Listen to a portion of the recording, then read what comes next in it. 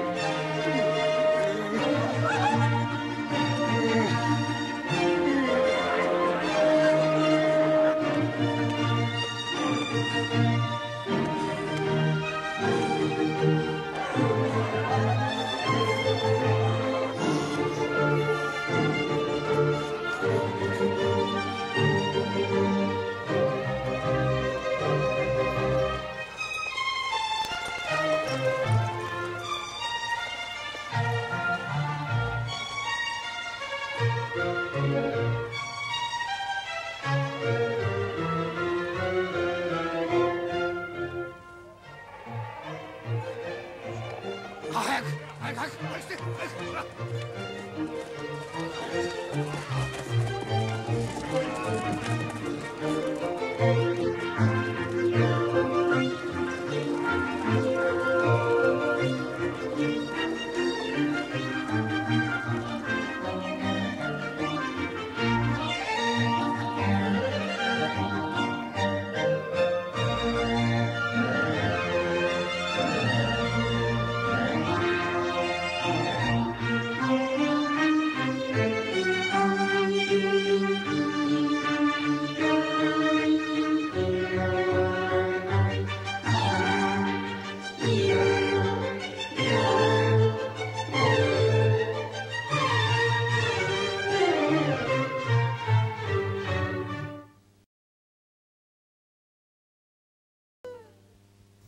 はいいかがでしたか？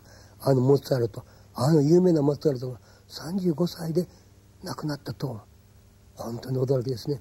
天才とはこれですね。それでモーツァルトは魔敵そして冬柄の結婚ドン・ジョバンニ名作いっぱいありますからそれを映画はヒンディをどんどんどんどん舞台の場面で見せましたね。この辺りも面白いでしたけれどもこの映画で一番怖いのはサリリを演じたこの名優ですね。この名優はどんなにモスタルトに憎しみを持っていったか。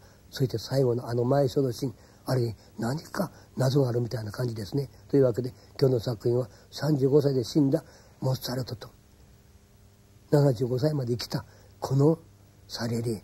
この2人の年齢そしてサレリーの苦しみが身にしみて分かりますね。華麗なる華麗な映画のくせに見事な地獄絵でしたね。はいもう時間が来ました。それでは次回の作品ご紹介しましょう。あのスターマンが帰ってきた。スターマン2リターン。地球に残してきた息子のために再び宇宙の果てからやってきたスターマン。しかし彼はまたしても連邦局に追われてしまう。父と子の逃亡の旅が始まった。スターマン2リターン。それでは次回をお楽しみください。さよなら。さよなら。